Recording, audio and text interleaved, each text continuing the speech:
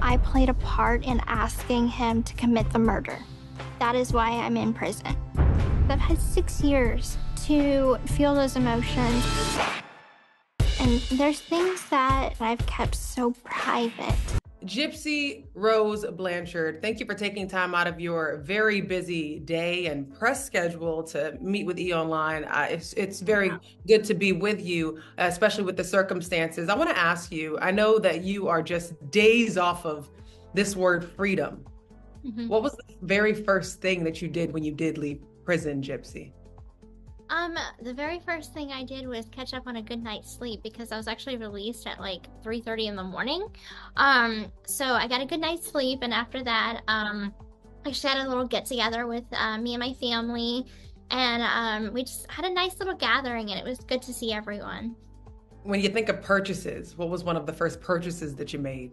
Actually, I bought a, a pair of shoes because um, the shoes that I had had sent to me in like this little box um, so I could leave the prison in. Um, the boots that my stepmom did not fit. And so those were the only shoes I had. So we had to go shoe shopping for a second. I want to know, and many others, your bucket list. Um, you were in prison for quite some time, since you were 23 years old and you're now 32 years old. What is on your bucket list to do now that you do have your freedom? Mm-hmm. Um, well, I do have a pretty extensive bucket list. Um, everything ranging from the simple stuff um, to go shopping at the mall to traveling. Um, you know, I, I really want to see the world, um, and I know that's going to take some time, but um, all of that stuff is definitely on my bucket list. Just living life and, and enjoying what what the world has to offer.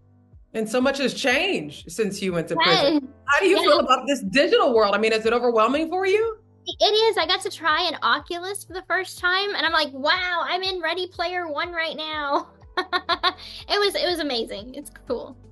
What is your reaction to how viral your story has gone? It's very interesting to, for me as a journalist to speak with you, who's so bubbly and energetic. But of course, we know your story. What is your mm-hmm. reaction to how viral the story has gone?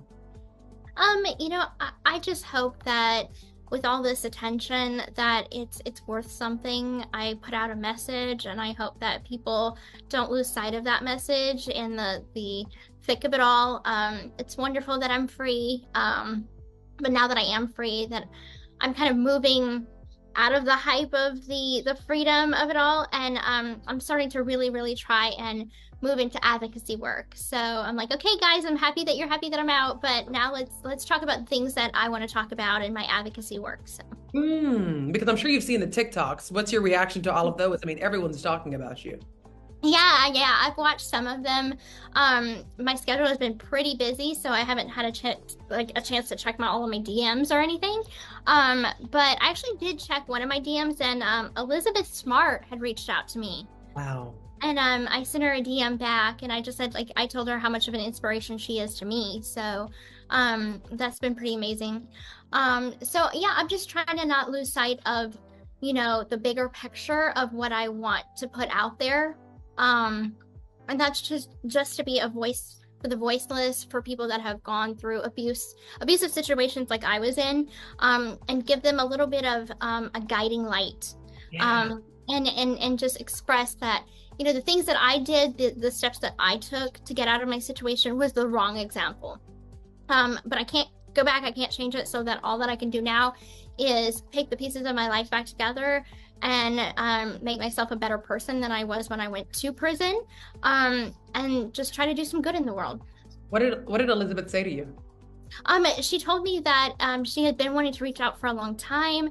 Um, and she feels like my story can help a lot of people. If I ever need to talk to her, she would be more than happy to chat with me, which was very, very sweet. Mm, we've, we've interviewed her several times for E Online, and she, uh, of course, does so much advocacy work and production work as well. So I'm sure you two will be working together very soon. How do you block out so much negativity? Does it bother you? Um, I have to remain grounded in knowing that, like, I know who I am as a person. So the people that don't know me, I have to just kind of remember they don't know me. They they know what they've seen in tabloids and online, and a lot of tabloids could get a lot mixed like wrong and so incorrect information. So I think that if people had the correct information, perhaps they wouldn't hate me so much. You know, they wouldn't hate on me so much, but um, I can't change the haters and I'm okay with it. I'm me and I love me. I want you to go back to your the struggle um, that you had with your role. You've talked about this struggle that you did have with your role playing in your mother's death. What do you wish you could change, if anything, Gypsy? I, I would go back and change things if I could. Um, you know, I, I would definitely do things differently. I wish that I could. I, I unfortunately can't. You know, it's real life, so you can't, you don't have a time machine. Um, so all I can do now is just do things that in my life are positive. Um, take a bad situation, turn it into a positive the best way I can. What's the lowest moment that you've experienced with your mom that left you feeling the most desperate? Um, definitely um, when I tried to run away for the first time, um, and I talk about this in my docu series. Um, that was a really, really hard time for me because um, I'm sure that scene was in the act and and in other documentaries also that she chained me to the bed and um, I was chained for two weeks.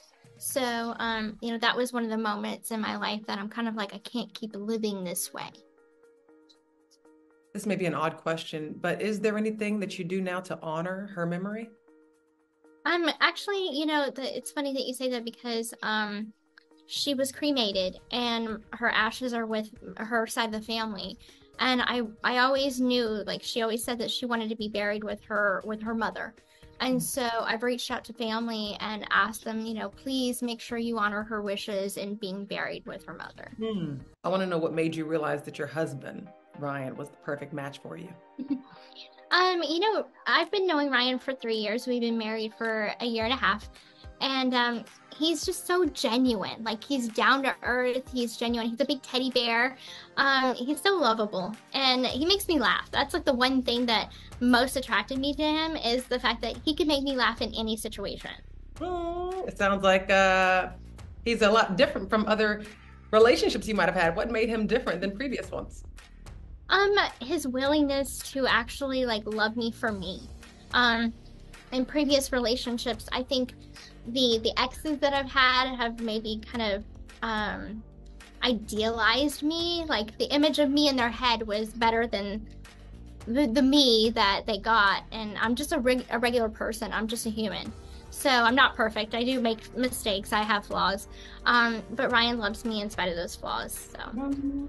I, you light up talking about him. That's very beautiful to see. I want to know have you watched The Act? I want to know your thoughts on Joey King's portrayal of you. She's got paraplegia, epilepsy, heart murmur, and she's allergic to sugar.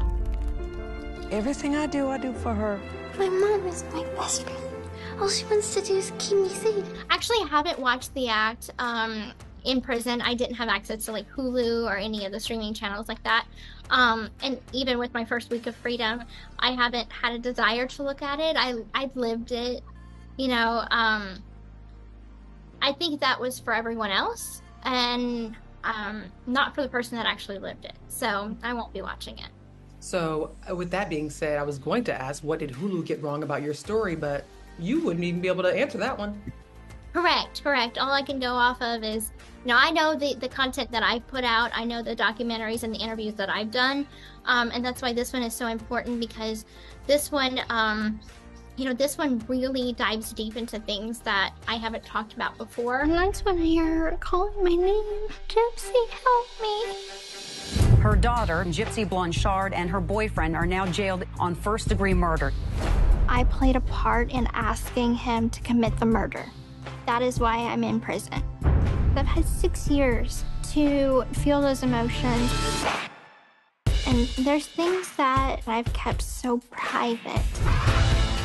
The reason why I want to talk about it now is because I want to be free. So, you know, people might think that they have seen other documentaries, so they know everything, and that's just not the case. Um, you know, I'm, I'm still a person healing from trauma, um, and in my own time, I divulge more information when I'm ready to.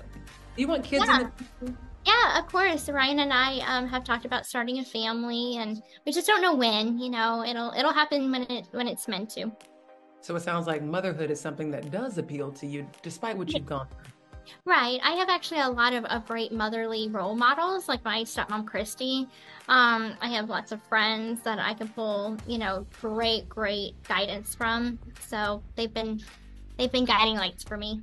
Goals and resolutions, Gypsy. Mm-hmm. What what is it for you? Goals and resolutions. Okay. Um, I think goal is to um really, really like put my feet into my advocacy work really start a foundation for it and and and build on that. Um so you know i think i have a pretty big following right now so i think that's going to be good in helping me out in the area of, of broadcasting my voice out there. Um resolutions. I think just not to get ahead of myself. Take my time in this newfound freedom. Not to rush into everything because when i got out i felt like i have to do everything all at once. Uh, just to catch up. So you know just take my time and enjoy enjoy life and that final question for you the biggest misconception about you, what is that? And uh, what do you want the world to know about Gypsy Rose? Um, I think the biggest misconception people have of me is um, that I'm still that that little little girl that got arrested. You know, that frightened, scared, abused child. Um, and I'm, I'm not anymore. I'm, I'm very different. I've matured over the last eight and a half eight and a half years. Um, and I'm, I'm a fully grown woman now, and I'm just ready to start my life. Gypsy, thank you so much for your time. Please thank your team yeah. for us as well. I know you are very busy. The interviews are coming out, and we appreciate your transparency at this time. Of course, of course. Thank you. To you. Thank you again.